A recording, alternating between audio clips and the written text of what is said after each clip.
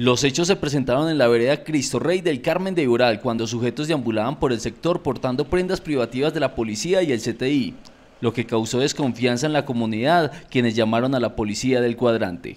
Y cuando llegan, cierto, son presuntamente recibidos con disparos.